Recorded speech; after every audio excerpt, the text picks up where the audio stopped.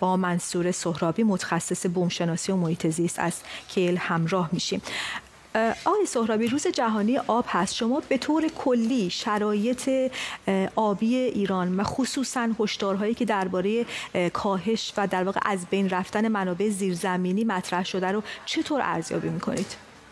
درود بر شما. ببینید ما در ایران شرایطمون برای آب در چهار تا حوزه بسیار مشکل ساز هست و در واقع با مشکل مواجه هستیم. هم در رابطه با کمیت آب خب ایران کشور خشک و نیمه خشکی هست.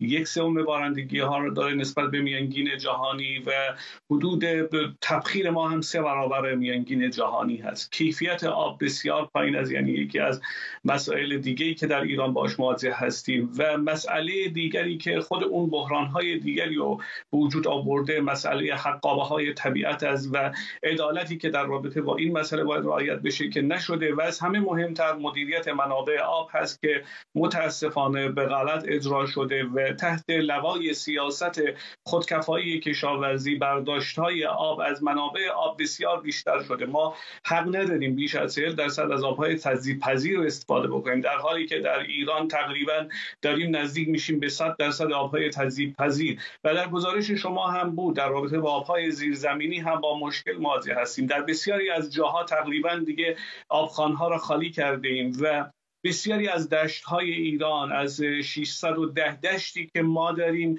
400 دشت ما تقریبا ممنوعه هستند و بیش از نزدیک 300 دشت ما ممنوع بحرانی هستند و این وضعیت می‌تونه عواقب بسیار بدی از جمله فرونشست زمین رو داشته باشه و در نهایت قابلیت اون سرزمین برای حیات از دست میره و مردم مجبور هستند که از اونجا کوچ بکنن.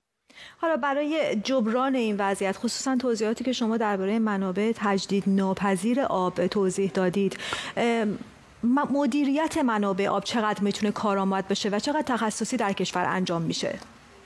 ببینید مشکل اساسی اینجاست که ما مدیریت درستی در رابطه با منابع آب نداشتیم. یعنی مدیریتی که صورت گرفته بیشتر برای هدر دادن بوده. در بخش کشاورزی ما یک کشاورزی نامتوازن رو داریم که برداشت آب در اونجا بسیار زیاد از الگوهای کشتمون بر اساس منابع آب نیست و مدیریت آب به صورت حوزه های آبریز نیست و محلی هست یا منطقه ای از طرف دیگر شاهد سدسازی های بسیار زیادی بوده ایم که برخی از اونها حتی ارزیابی های درست زیست محیطی رو ندارن. انحراف و انتقال آب رو داشتیم که مشکلاتی رو برای هم پایین دست هم بالا دست ایجاد کردند. و از همه مهمتر هم ما صنایعی رو گسترش دادیم در جاهایی که این آب کافی برای اون صنایع وجود ندارد در حالی که اون صنایع آببر هستند. و سیاست غلط خودکفایی که دوباره هم دارن روش بحث می‌کنن که ما باید مثلا در برنج خودکفا باشیم در گندم خودکفا باشیم. اصولا سیاست خودکفایی برای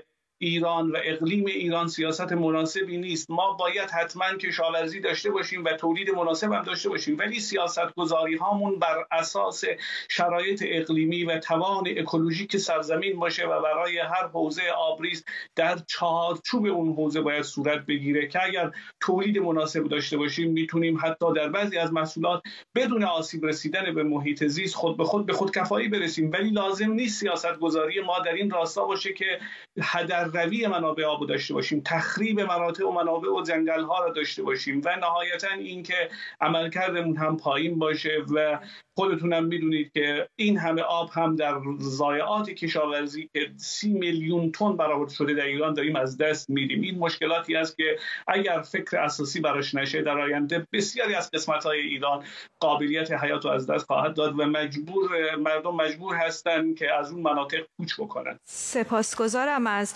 توضیحات و همراهی شما. منصور سهرابی متخصص بومشناسی و محیط زیست از کل